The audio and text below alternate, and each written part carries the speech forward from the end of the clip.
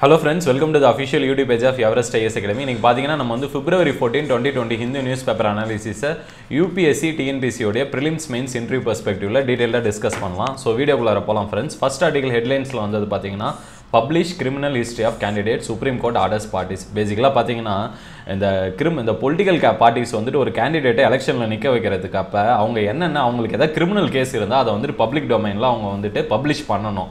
அது வந்து ஏற்கனவே சுப்ரீம் கோர்ட்டு ரெண்டாயிரத்தி பதினெட்டுலேயே ஒரு ஜட்மெண்ட் கொடுத்துருந்தாங்க. அது என்னென்னா public interest foundation versus union of India two thousand eighteen case அதுலேயே வந்துட்டு ஆர்டர் கொடுத்துருந்தாங்க. ஆனால் என்னென்னா அந்த அப்போ வந்துட்டு அவங்க அந்த பப்ளிஷ் பப்ளிஷ் பண்ணக்கூடிய இன்ஃபர்மேஷன் வந்துட்டு பொலிட்டிக்கல் பார்ட்டிஸோட வெப்சைட்ஸில் பண்ணணும் பிரிண்ட் அண்ட் எலக்ட்ரானிக் மீடியாவில் பண்ணணும். ஆனால் இவங்க ரொம்ப நாளாக அதை பண்ணாமே இருந்தாங்க. ஸோ அதனால் வந்துட்டு இப்போ ரீசெண்டாக ஒரு பெட்டிஷன் ஃபைல் பண்ணதில் சுப்ரீம் கோர்ட்டு ரொம்ப ஸ்ட்ரிஞ்சண்ட்டாக வந்துட்டு இன்னுமே வந்துட்டு யாராவது இதை ஃபாலோ பண்ணாமல் இருந்தீங்கன்னா கண்டெம்ட் ஆக்ஷன் நாங்கள் ஃபைல் பண்ணுவோம்னு சொல்லி ஸ்ட்ரிஞ்சண்ட்டாக வார்னிங் கொடுத்துட்டாங்க. அதை தவிர கூட எக்ஸ்ட்ராவாக வந்துட்டு ரெண்டு மூணு விஷயம் பண்ணியிருக்கிறாங்க என்ன சொல்கிறாங்கன்னா இனிமேல் வந்துட்டு இந்த கிரிமினல் கேண்டிடேட் இருக்கக்கூடிய அந்த கேண்டிடேட்ஸ் பொலிட்டிக்கல் பார்ட்டிஸில் யார் யார் எலெக்ஷனில் நிற்கிறாங்களோ கிரிமினல் ஹிஸ்ட்ரி இருக்குதுன்னா அவங்களுடைய அந்த கிரிமினல் இன்ஃபர்மேஷனை அவங்களுடைய ந- அதாவது வந்துட்டு வெப்சைட்டில் மட்டும் இனிமேல் பப்ளிஷ் பண்ணக்கூடாது. Local news paper national news paper அப்புறம் சோஷியல் மீடியாவில் ஃபேஸ்புக்கு ட்விட்டரு எல்லாத்துலேயுமே இனிமேல் வந்துட்டு அவங்க பப்ளிஷ் பண்ணணும். அதில் அவங்க கிரிமினல் ரெக்கார்டை மட்டும் பப்ளிஷ் பண்ணக்கூடாது. என்ன காரணத்துக்காக அந்த கிரிமினல் ஆக்டிவிட்டியில் அவங்க இன்வால்வ் ஆனாங்க அப்படின்றதையும் தெளிவாக நம்ம எக்ஸ்பிளைன் பண்ணணும். ஸோ அதனால் வந்துட்டு பப்ளிக்கில் வந்துட்டு ஒரு மக்கள் வந்து ஒரு கிரிமினலுக்கு ஓட்டு போடணும்னா அவங்க வந்துட்டு கிளியர் இன்ஃபர்மேஷன் தெரிஞ்சுக்கிட்டு ஓட்டு போட்டோம்னு சொல்லியிருக்கிறாங்க. இது தவிர இப்போதைக்கு ஆல்ரெடி வந்து டெல்லியிலலாம் இப்போ எலெக்ஷன் நடந்து ரிசல்ட்ஸே வந்துருச்சு. ஸோ இந்த ஆர்டருக்கு அப்புறம் என்ன பண்ணணும்னா இது இப்போ எலெக்ஷன் ரிசல்ட்ஸ் வந்துட்டு எலெக்ட் ஆன கேண்டிடேட்ஸ்க்கு ஒரு ரெண்டு நாள் டைம் தரோம். ஃபார்ட்டி எயிட் ஹவர்ஸ்க்குள்ளார அதுக்குள்ளார வந்து அவங்க வந்து அந்த கிரிமினல் ட்ராக் ரெக்கார்டை பப்ளிஷ் பண்ணணும். சரி இப்போ எலெக்ஷன் நடக்க போகிற ஸ்டேட்ஸுக்கு என்ன சொல்லியிருக்கிறாங்கன்னா சுப்ரீம் கோர்ட்டில் அவங்க ஃபைலிங் நாமினேஷன் ஃபைல் பண்ண போகிறதுக்கு ரெண்டு வாரத்துக்கு முன்னாடியே அவங்க இந்த இன்ஃபர்மேஷனை இது பண்ணணும். இது தவிர வந்துட்டு எல்லா பொலிட்டிக்கல் பார்ட்டிஸும் வந்துட்டு எலெக்ஷன் கமிஷனுக்கும் இந்த டேட்டாவை வந்துட்டு சப்மிட் பண்ணணும். கம்ப்ளைண்ட்ஸ் ரிப்போர்ட்டுன்னு வாங்க இன்னொரு மூணு நாளுக்குள்ளார சப்மிட் பண்ணி ஆகணும். இது சென்ட்ரலில் இருக்கக்கூடிய பார்ட்டிஸ் ஸ்டேட்டில் இருக்கக்கூடிய பார்ட்டிஸ் எல்லாத்துக்குமே இது அப்ளிகபிள் ஆகும்.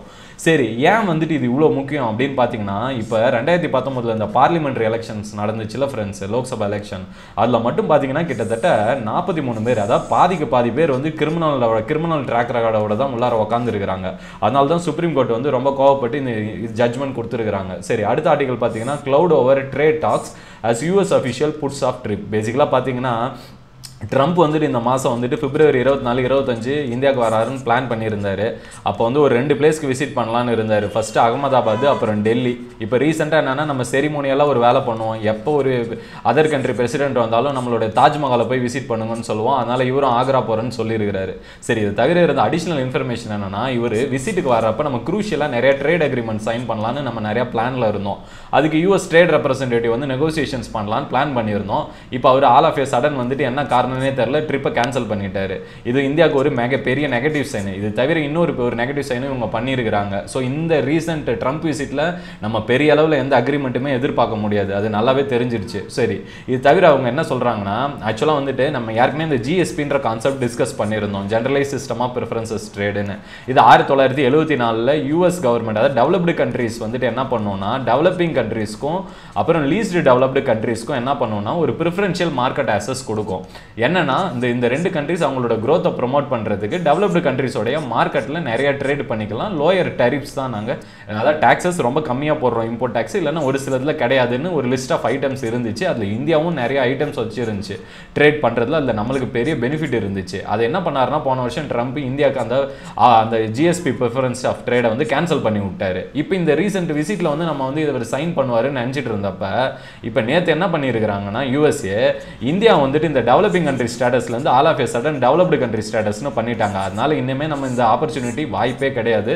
அதை பற்றி இன்னொரு ஆர்டிக்கலில் நான் டிஸ் டீட்டெயிலாக டிஸ்கஸ் பண்ணுறேன் சரி இந்த பர்டிகுலர் ஆர்டிக்கலில் இது வரைக்கும் இந்தியாவும் யூஎஸும் ட்ரேட் ரெப்ரசன்டேட்டிவ்ஸ் நிறைய விஷயம் பாசிட்டிவாக நெகோஷியேட் பண்ணி வச்சுருந்தாங்க. என்னன்னா அதாவது பாசிட்டிவான்னு சொல்கிறது யூஎஸ்க்கு தான் பாசிட்டிவாக இருந்துச்சு இந்தியாவுக்கு நெகட்டிவாக தான் இருந்துச்சு. இது வரைக்கும் இவங்க நெகோஷியேட் பண்ணி வச்சது.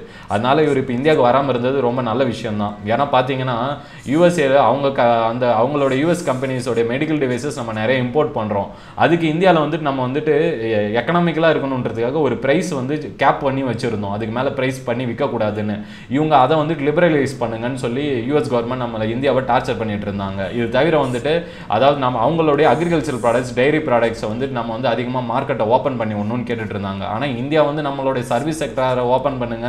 நம்ம ஐடி எம்ப்ளாயீஸ்க்கு நிறைய வேலை வாய்ப்பு கொடுக்கறதுக்கு விசா ரூல்ஸ் சிம்பிளிஃபை பண்ணுங்கன்னா அதெல்லாம் அவங்க பண்ணுறதில்ல அவங்களுக்கு என்ன தேவையோ அதை வந்து இந்தியா கிட்டேருந்து வாங்கிக்கலாம்னு பிளான் பண்ணியிருந்தாங்க. எனிவே இப்போ நல்ல விஷயம் தான் அவர் இப்போ இந்தியாவுக்கு வராது. சரி இது தவிர வந்துட்டு என்னென்னா இப்போ நம்ம ரீசன்ட் பட்ஜெட்லையும் ஹெல்த் செஸ்னு ஒன்று இன்ட்ரடியூஸ் பண்ணியிருந்தோம். அதில் இந்த மெடிக்கல் டிவைசஸ்க்குலாம் என்ன பண்ணோம்னா அதிகமாக வந்து ஒரு வரி போட்டிருந்தோம். அதனால் அதோட விலை அதிகமாக தான் வாய்ப்பு இருக்குது.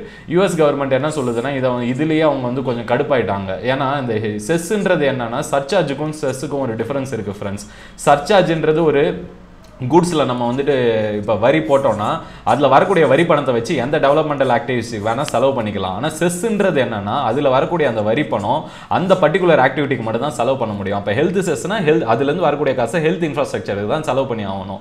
இது தவிர வந்து நம்ம வந்து எலக்ட்ரிக் வெஹிக்கல்ஸ்க்கும் நிறைய டரிப்ஸ் டாக்ஸஸ் இன்க்ரீஸ் பண்ணி வச்சிருந்தோம். இதெல்லாம் யூஎஸ் கவர்மெண்ட்டை இரிட்டேட் பண்ணியிருக்குதுன்னு சொல்லியிருக்கிறாங்க. சரி அடுத்த article slapping section one forty four doing CA protest illegal பேசிக்கலாக பார்த்தீங்கன்னா இந்த கர்நாடகா ஸ்டேட்டில் சிட்டிசன்ஷிப் அமெண்ட்மெண்ட் ஆக்ட்டுக்கு ப்ரொடெஸ்ட் பண்ணப்ப டிசம்பர் மாசத்துல என்ன பண்ணாரு?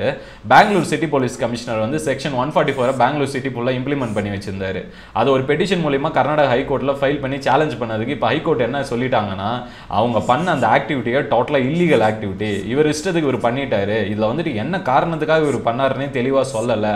அதனால இட்ஸ் கன்சிடர் பி இல்லீகல் இன்னுமே வந்துட்டு இவங்க இதெல்லாம் பண்ணணும்னா என்ன காரணத்துக்கு பண்ணுறாங்கன்னு தெளிவாக பண்ணணும்னு சொல்லி ஜட்ஜ்மெண்ட் கொடுத்துருக்காங்க இது கவர்மெண்ட்டுக்கு ஒரு பெரிய நெகட்டிவான ஸ்டெப்பு அது தவிர என்ன சொல்லியிருந்தாங்கன்னா நம்மளுக்கு செக்ஷன் ஒன் ஃபார்ட்டி ஃபோரோட பேசிக்ஸ் என்னன்னு பார்ப்போம். ப்ரிலிம்ஸ்க்கு ரொம்ப இம்பார்ட்டன்ட் ஏன்னா இந்த செக்ஷன் ஒன் ஃபார்ட்டி ஃபோர்ன்றது பிரிட்டிஷர் காலகட்டத்தில் அப்போ அடக்குமுறையை கட்டுப்படுத்துறதுக்காக கொண்டுட்டு வந்த ஒரு சட்டம்.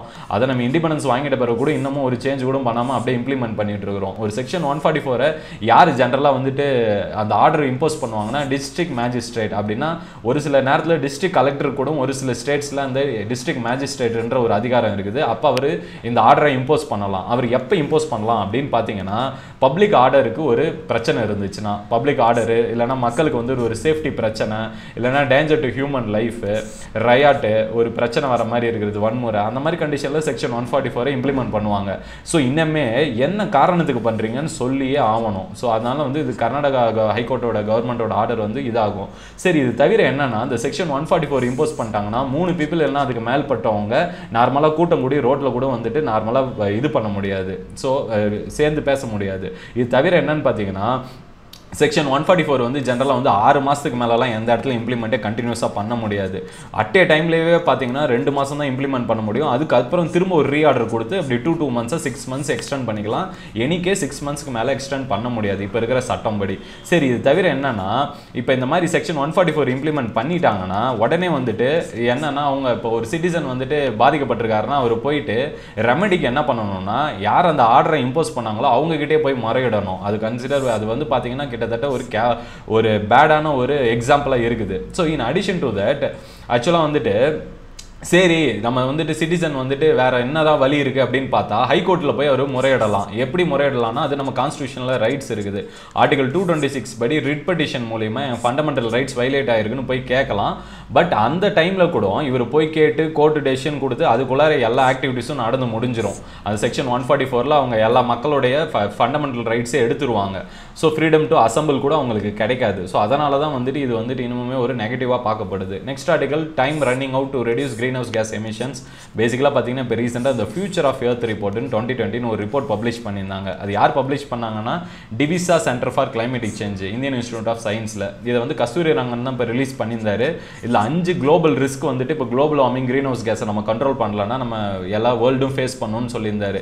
என்ன அந்த அஞ்சு ப்ராப்ளம் அப்படின்னு பார்த்தீங்கன்னா கிளைமேட்டிக் சேஞ்சை வந்து நம்ம ஃபெயிலியர் ஆகிடுவோம் மெடிகேஷன் பண்ணி அது கூட வரக்கூடிய பாதிப்புகள் நம்ம அடாப்ட் ஆக முடியாது. அப்போ என்ன ஆகும்னா எக்ஸ்ட்ரீம் ஈவெண்ட்ஸ் ஹேப்பன் ஆகும். அப்படின்னா என்னென்னா வெள்ளம் வந்துச்சுன்னா கொடுமையான வெள்ளம் அப்படி வரும். இல்லைன்னா வறட்சி வந்துச்சுன்னா இது வரைக்கும் நம்ம பார்க்க முடியாத ஒரு வறட்சியை பார்ப்போம். ஸோ இது வந்து கிளைமேட்டிக் சேஞ்செலாம் நார்மலாக இந்தியாவில் கூட இப்போ நம்ம அதை தான் ஃபேஸ் பண்ணிகிட்டு இருக்கிறோம். இது தவிர பயோடைவர்சிட்டி லாஸ் ஆகிடும் ஏன்னா பிளான்ஸ் அனிமல்ஸ்லாம் அந்த ஹை டெம்பரேச்சருக்கு அவங்களால அது அதால் வந்து ரெசிஸ்டே பண்ண முடியாது. அப்போ ஈகோ சிஸ்டமே கொலாப்ஸ் ஆகிடும் அப்புறம் ஃபுட் கிரைசிஸ் ஆகும். ஏன்னா வெஜிடேஷன் பாதிக்கப்பட்டுருச்சுன்னா அப்புறம் நம்மளால் வந்துட்டு நார்மலாக கல்டிவேட் கூடவும் பண்ணக்கூடாது ஒரு கிராப்ஸை ஏன்னா temperature one to two degree Celsius rise ஆச்சுன்னா நம்மளால் ரைஸ் கூட நார்மலாக கல்டிவேட் பண்ண முடியாது ப்ரொடக்டிவிட்டியே பாதிக்கப்படும். In addition to that water கிரைசிஸும் ஏற்படும். ஏன்னா வந்து டெம்பரேச்சர் இன்க்ரீஸ் ஆச்சுன்னா எல்லா வாட்டரும் எவாப்ரேஷனில் லாஸ் ஆகிடும் ஸோ இந்த ரிப்போர்ட் என்ன சொல்லுதுன்னா ரெண்டாயிரத்தி ஐம்பதுக்குள்ளார நம்ம ஒரு ரெண்டு டிகிரியாவது குளோபல் வார்மிங்கை கட்டுப்படுத்தியே ஆகணும். ஏன்னா இப்போ போகிற கண்டிஷனுக்கு பார்த்தா எக்ஸ்ட்ரீமாக ஹீட் வேவ்ஸ் ஜென்ரேட் ஆகுது. இப்போ ஜென்ரலாக பார்த்தீங்கன்னா ஒரு செடி எடுத்துக்கோங்க ஃப்ரெண்ட்ஸ் இப்போ ஹீட் வேவ் ரொம்ப ஜாஸ்தியாக இருக்குதுன்னு வச்சுக்கோங்க. அப்போ அந்த ட்ரீஸ்னால அந்த கிளைமேட்டுக்கு விஸ்டாண்ட் பண்ண முடியாது. அந்த வெதருக்கு அப்போ செத்து போயிடும் செத்து போனவொடனே என்ன ஆகும்? இது ஏற்கனவே கார்பன் இதுக்குள்ளார ஸ்டோர் ஆகிருக்கும் இன் அடிஷன் ஃபோட்டோசிந்தசிஸ் ப்ராசஸில் இது கார்பன் டை ஆக்சைடை யூஸ் பண்ணிவிட்டு ஆக்சிஜனை அட்மாஸ்பியர் ரிலீஸ் பண்ணும் அப்போ வெஜி ட்ரீஸ் வந்துட்டு ஒரு மேஜர் கார்பன் கண்ட்ரோல் மெக்கானிசம் மாதிரி தான் ஃபங்க்ஷன் ஆகிட்டு இருக்கும். அப்போ ஆனால் குளோபல் வார்மிங் கிளைமேட்டிக் சேஞ்ச் வரப்போ என்ன ஆகும்னா இது செத்து போயிடும். அந்த டெம்பரேச்சர் விஸ்டாண்ட் பண்ண முடியாமல் ஒன் டு டூ டிகிரி செல்சியஸ்க்கு அப்போ இது செத்து போயிடுச்சுன்னா என்ன ஆகும்னா இன்ஆர்கானிக் கண்டிஷன்ஸில் இதிலிருந்து green green house gas emit ஆகும். என்னெல்லாம் கார்பன் அது ஸ்டோர் ஆயிடுச்சோ அது அட்மாஸ்பியரில் கார்பன் டை ஆக்சைடு மீத்தேனா ரிலீஸ் ஆகி கிளைமேட்டிக் சேஞ்சு அப்புறம் ஃபுட் கிரைசிஸ் ஃபுட் செக்யூரிட்டி எல்லாமே பாதிக்கப்படும் அப்படின்னு இந்த ஆர்டிக்கலில் இந்த ரிப்போர்ட்டில் சொல்லியிருந்தாங்க. இப்போதைக்கு பார்த்தீங்கன்னா வேர்ல்டு லெவலில் கார்பன் டை ஆக்சைடு எமிஷன் எவ்வளோ இருக்குதுன்னா four hundred and fifteen parts per மில்லியனை achieve பண்ணிட்டோம். இதை கண்டிப்பாக கட்டுப்படுத்தி ஆகணும் அப்படின்னு சொல்கிறாரு இந்த ரிப்போர்ட்டில் அப்போ கார்பன் பூ ஃபுட் பிரிண்ட்னா என்ன? அப்படின்ற கான்செப்டை பார்த்தீங்கன்னா கார்பன் ஃபுட் பிரிண்ட்டாக ஒன்றும் இல்லை ஃப்ரெண்ட்ஸ் நம்ம க்ரீன் ஹவுஸ் கேஸ் மொத்தமாக எமிஷன் பண்ணுறோம்ல ஒரு மனுஷன் சராசரியாக எவ்வளோ வந்து எமிஷன் பண்ணுறான்? இல்லைனா ஒரு ஆர்கனைசேஷன் இல்லைன்னா ஒரு ப்ராடக்ட் யூஸ் பண்ணுறதுனால எவ்வளோ வந்துட்டு க்ரீன் ஹவுஸ் கேஸ் எமிஷன் ஆகுது அப்படின்னு நம்ம அளவுகோல் பண்ணோம்னா அதுக்கு பேர் தான் கார்பன் ஃபுட் பிரிண்ட்டு ஸோ ஜென்ரலாக க்ரீன் ஹவுஸ் கேஸ்ன்றது நீங்கள் என்விரான்மெண்டல் ஜாகிரஃபியில் படிச்சிருப்பீங்க. பே major green house gases carbon dioxide methane தான். இது யூஸ் பண்ணுறது எப்படின்னா இந்த ஃபாசில் ஃபியூவல்ஸ் அதாவது கோலெல்லாம் பேர்ன் பண்ணுறப்ப அப்புறம் ட்ரீஸ்லாம் டஸ்ட்ராய் பண்ணுறப்ப அப்புறம் நிறையா வந்துட்டு இந்த மேனுஃபேக்சரிங் குட்ஸ்லாம் பண்ணுறப்ப நம்ம வந்துட்டு நிறையா கார்பன் டை ஆக்சைடு மீத்தேனா அட்மாஸ்பியரில் ரிலீஸ் பண்ணுறோம் நெக்ஸ்ட் எடிட்டோரியல் ஆர்டிகல் பார்த்தீங்கன்னா towards a new world order பேசிக்கலாக இந்த ஆர்டிக்கலில் கேபிட்டலிசம் கான்செப்டை பற்றி இந்த ஆத்தர் வந்து ஒரு செம்மையாக கிரிட்டிசைஸ் பண்ணியிருக்கிறாரு. ஸோ இதனால் வந்துட்டு வேர்ல்டில் நிறைய கண்ட்ரிஸ் பாதிக்கப்பட்டிருக்குது இந்தியாவும் பாதிக்கப்பட்டிருக்குது. ஸோ இப்போதைக்கு நம்ம என்ன பண்ணலாம்னா இதுக்காக ஒரு சொல்யூஷன் கொடுக்குறாரு. ஃபோர் பீஸ் அப்படின்னு சொல்லி ஒரு சொல்யூஷன் கொடுக்குறாரு. இது தவிர இந்தியாலாம் வந்துட்டு என்ன பண்ணணும்னா பணக்காரங்களுக்கு ஃபஸ்ட்டு நிறைய டேக்ஸை போடணும். அப்புறம் வந்துட்டு எல்லா மக்களுக்கும் ஹெல்த் கேரை ஃப்ரீயாக கொடுக்கணும். எஜுகேஷனை ஃப்ரீயாக கொடுக்கணும். ஸோ இந்த மாதிரி வந்துட்டு நிறையா வந்துட்டு ப்ரோஆக்டிவாக ஒரு வெல்ஃபேர் ஸ்டேட் மாதிரி நம்ம ஃபங்க்ஷன் பண்ணணும். கேபிட்டலிசம் பார்த்து ரொம்ப ரொம்ப மயங்கி போய் அதை நோக்கி நம்ம போய்கிட்டு இருக்கிறோம். அதனால் நம்மளுக்கு பாதிப்பு தான் அடைஞ்சிருக்குது. வேர்ல்டுலேயே பார்த்தீங்கன்னா வந்துட்டு கிட்டத்தட்ட சோஷியல் இன்இக்வாலிட்டி அப்படின்னு சொல்லுவாங்க ஃப்ரெண்ட்ஸ் அப்படின்னா என்னென்னா இந்த ரிச்சுக்கும் போருக்கும் இருக்கக்கூடிய டிவை டிவைடு வந்து பார்த்தீங்கன்னா கிட்டத்தட்ட ரொம்ப வைடன் ஆகிட்டே போதான். எந்த அளவு வைடன் ஆகுது அப்படின்னு பார்த்தீங்கன்னா அதாவது இந்த ரிப்போர்ட் படி ஒரு ஆக்ஸ்ஃபேம் ரிப்போர்ட் படி என்ன சொல்கிறாங்கன்னா வேர்ல்டில் வந்துட்டு இந்த கோடீஸ்வரர்கள் பட்டியல் வந்து பார்த்தீங்கன்னா அதாவது வந்துட்டு ஒரு அதாவது வந்துட்டு ஒரு நானூறு கோடி பேர் மக்கள் தொகை. அந்த மக்களுடைய சொ- அவ்வளோ சொத்து அவ்வளோ பேர் இருக்கக்கூடிய அவங்களுடைய சொத்தை வந்து என்னன்னா வெறும் ஒரு ரெண்டாயிரம் பேர் வந்துட்டு ஆக்சுவலாக அவங்களுக்கு இருக்கக்கூடிய வெல்த்து நாலாயிரம் கோ- நானூறு கோடி மக்களுடைய வெல்த்தோட அதிகமாக இருக்குதுன்றாங்க. அப்போ பாருங்க எந்த அளவு இன்இக்வாலிட்டி வேர்ல்டில் ப்ரிவேல் ஆயிருக்குன்னு. இதுக்கு மெயின் காரணமே கேபிட்டலிசம் தான் அப்படின்னு இந்த ஆத்தர் சொல்கிறாரு கேபிட்டலிசம் இதை மட்டும் பண்ணல பாதிப்பு. எக்கனாமிலி என்னன்னா எக்கனாமிக் டெவலப்மெண்ட் பண்ணுறன்ற பேரில் நம்ம வந்துட்டு என்ன பண்ணோம்? ஃபஸ்ட்டு எனர்ஜி யூசேஜ் அதிகமாக பண்ணோம். அப்போ எக்கனாமிக் டெவலப்மெண்ட்னாலே வந்துட்டு என்னென்னா வந்துட்டு கோல் அதிகமாக ப்ரொடியூஸ் பண்ணி எனர்ஜியை ப்ரொடியூஸ் பண்ணி செல் பண்ணுறது ஸோ இந்த கான்செப்டில் தான் நம்ம ஃபங்க்ஷன் பண்ணோம்.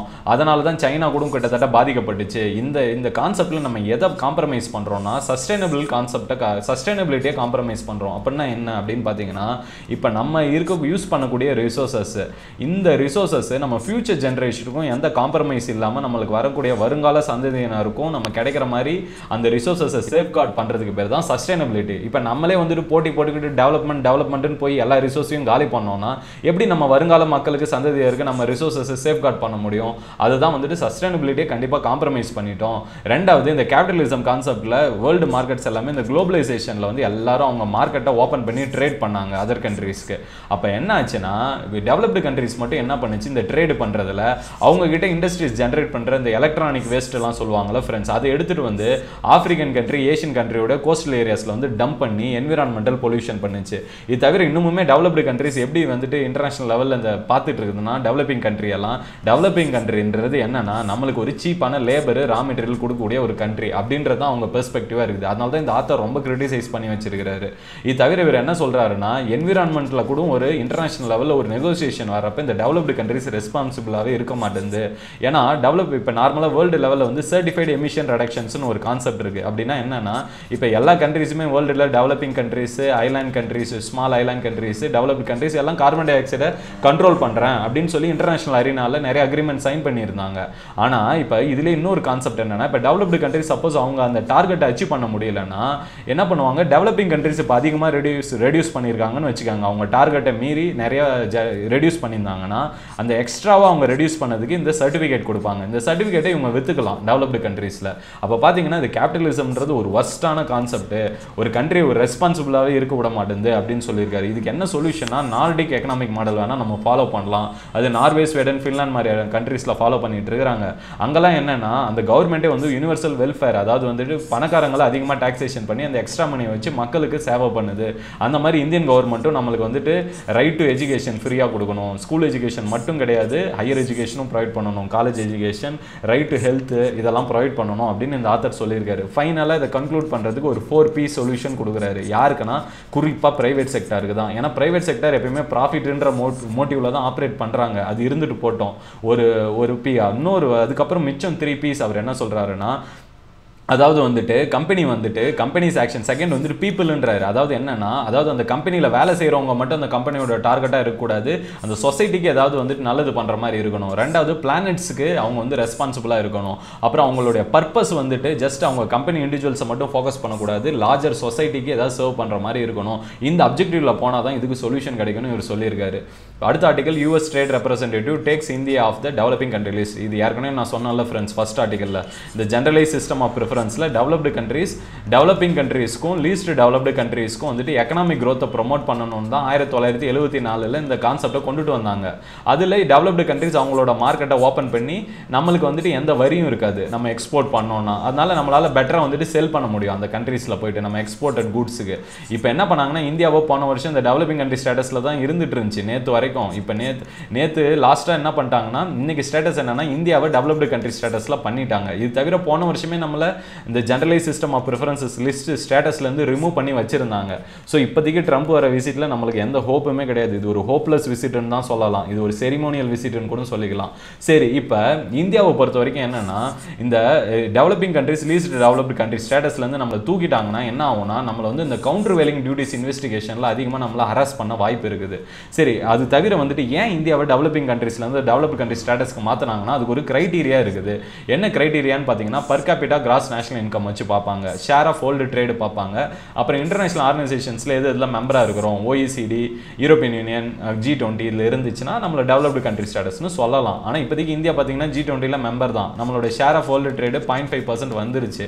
கிராஸ் நேஷனல் இன்கம் வந்துட்டு பார்த்தீங்கன்னா நெட் நேஷனல் இன்கமே கிட்டத்தட்ட நம்ம இன்னுமுமே வந்துட்டு ஒரு லட்சத்தி முப்பதாயிரம் ரூபா தான் சராசரியாக வருது. ஸோ இந்த க்ரைட்டீரியாவை இன்னும் இந்தியா வந்து அச்சீவ் பண்ணவே இல்லை. ஆனால் யூஎஸ்ஏ வந்துட்டு நம்மளை வந்துட்டு ரிலாக்ஸ் பண்ணி டிக்ளேர் பண்ணிட்டாங்க. நம்மளே டெவலப்டு கண்ட்ரிஸ்னு although பார்த்தீங்கன்னா நம்மளுக்கு இது பெருமைக்குரிய விஷயம்னு பார்த்தாலும் எக்கனாமிக்கில் இது ஒரு நெகட்டிவான விஷயம் தான் இந்தியாவை மட்டும் அவங்க அப்படி கிளாஸிஃபை பண்ணல. Brazil Indonesia Malaysia Thailand Vietnam அப்படின்னு எல்லா கண்ட்ரிஸையும் சொல்லியிருக்கிறாங்க. சரி. அப்புறம் அந்த கவுண்டர் வேலிங் டியூட்டிஸ்னா என்ன அப்படின்னு பார்த்தீங்கன்னா சப்போஸ் இந்தியா வச்சே பாருங்க ஃப்ரெண்ட்ஸ் இப்போ இந்தியாவிலேருந்து நம்ம யூஎஸ்ஏக்கு ஒரு காட்டன் கூடு வந்து காட்டன் வந்து நம்ம எக்ஸ்போர்ட் பண்ணுறோன்னு வச்சுக்கோங்க. நம்ம கவர்மெண்ட் வந்து நம்ம ஃபார்மர்ஸ்க்கு அந்த செல் பண்ணக்கூடிய அந்த காட்டன் வந்து யூஎஸ் மார்க்கெட்டில் சீப்பாக இருக்கட்டும்னு கொஞ்சம் சப்சிடி கொடுப்பாங்க. அவங்களுக்கு சப்போர்ட்டிங்க்கு இந்த சப்சிடிஸ் மூலிமா அது சீப்பாக இருக்கும். இப்போ என்ன பிரச்சனைனா இந்த மாதிரி சப்சிடைஸ் பண்ணி இந்த காட்டன் யூஎஸ் மார்க்கெட்டில் போய் நம்ம விற்கிறப்ப என்ன ஆகும்னா அங்கே இருக்கக்கூடிய ஃபார்மர்ஸ் அது பாதிப்பை ஏற்படுத்தக்கூடாது. நம்ம கொடுக்கக்கூடிய சப்சிடிஸ் அப்படி பாதிப்பு ஏற்பட்டுச்சுன்னா அந்த கவுண்டர் வேலிங் டியூட்டிஸ் அவங்க வந்துட்டு நம்மளை வந்து டேக்ஸ் பண்ணலாம். கவுண்டர் வெல்லிங் டியூட்டிஸ்னு அதுக்கு பேர் தான் ஆன்டி சப்சிடிஸ் டியூட்டிஸ் அதாவது நம்ம கொடுக்கக்கூடிய சப்சிடிஸ் அவங்க இண்டஸ்ட்ரி ஆம்ஃபுல் பண்ணக்கூடியது. அவங்க ஃபார்மர்ஸை பா பாதிக்கப்படுற மாதிரி இருந்தால் நம்ம அதாவது யூஎஸ்ஏ கவர்மெண்ட் வந்து இந்த ஆன்டி சப்சிடிஸ் டியூட்டிஸ் பண்ணி அதுக்கப்புறம் வந்துட்டு இன்வெஸ்டிகேஷனும் பண்ணலாம் அப்படின்றதான் இந்த கான்செப்ட் சரி. ஸோ இது தவிர வந்துட்டு இது எப்பயுமே வந்துட்டு இதுக்கு எவ்வளோ ஆன்டி சப்சிடிஸ் டியூட்டிஸ் வந்துட்டு இன்வெஸ்டிகேஷன் பண்ணணும்னா அது அந்த பர்டிகுலர் கண்ட்ரியை வந்து டிசைட் பண்ணிக்கும் according to WTO rules okay friends thank you friends so உங்களுக்கு நம்ம சேனல் பிடிச்சிருந்துச்சுன்னா சப்ஸ்கிரைப் பண்ணுங்கள் உங்கள் ஃப்ரெண்ட்ஸ் யூபிஎஸ்சி டிஎன்பிசி படிக்கிறவங்களுக்கு நம்ம வீடியோவை ரெஃபர் பண்ணுங்கள் உங்களுக்கு ஏதாவது டவுட்ஸ் இருந்துச்சுன்னா கமெண்ட் செக்ஷனில் போஸ்ட் பண்ணுங்கள்